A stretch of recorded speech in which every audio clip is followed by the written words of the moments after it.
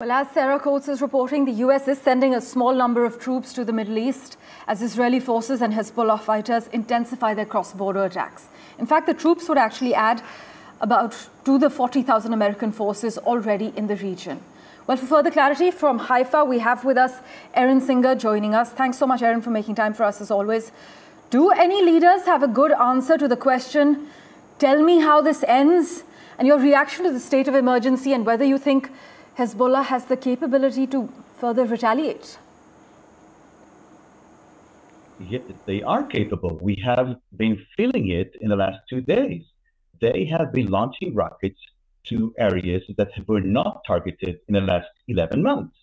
If we were used to see Israeli cities and villages um, being targeted only in the Galilee area, now there's a new reality in Israel we I'm, I'm just you know I'm, I'm looking at the list of places that have been targeted today. Look at look at the list.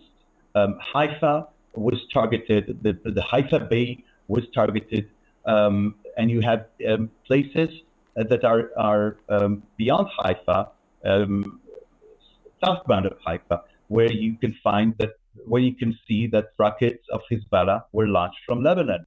Now this new state of emergency um, that has been declared by the Israeli government is for the entire state of Israel. The government of Israel is now telling the Israeli citizens that from now on, each and every city all over Israel can be targeted, not only in the northern part. Tel Aviv is going to be targeted, the Tel Aviv uh, greater area will be targeted, the Sharon cities, even Jerusalem, and even uh, Uh, in other places in the southern part of Israel will be targeted. Beersheba, maybe even Elat. We are now in a new reality. And you know what? If you ask the, the average Israeli today, he will tell you that they, the Israelis will tell you, I think I did I didn't make any survey about it, but but you can see it on the on the surface on, on the polls in Israel on Israeli channels. Israelis are much more willing to sacrifice today because ever since uh, October 7th, ever since um, the great massacre that that in which Israelis were slaughtered and, and butchered and raped, something happened to the people of Israel. Something happened to the Israeli citizens. They are more willing to, to sacrifice uh, for the um, defense of Israel, for the for, for, the sake of their children and, and, and grandchildren.